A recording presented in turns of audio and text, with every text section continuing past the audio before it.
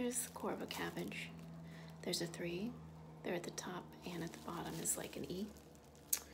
That is my identifiable information, and this is how I was robbed um, through food products. That's one way of my body and soul information since my childhood.